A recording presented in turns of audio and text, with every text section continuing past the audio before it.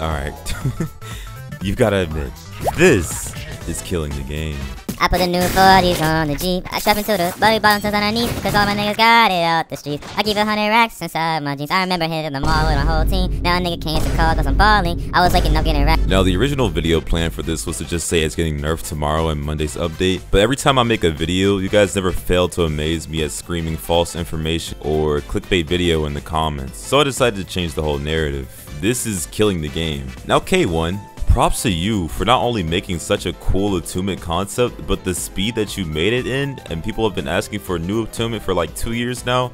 K1, I love you, bro. Keep doing what you're doing. But how in the hell did the testers not balance test this before it was added to the game? Originally, I wasn't gonna make a video talking about how broken this is until I got sent this clip.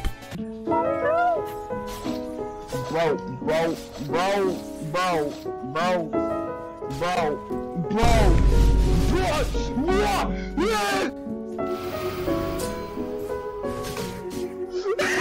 Now for the Astral Wind, first of all, how the heck did he do that? How was he in the air like that?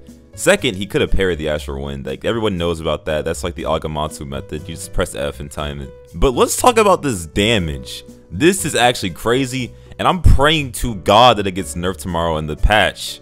And Archmage, if you're watching this, don't let this happen again, bud. Alright, or I might have to take a flight to the UK. Now you can interpret that however you like. We could go get a couple of drinks, or we could do something devious. But just don't let it happen again, Archimage. Anyways, the king will now sign out, and all hell Valekis.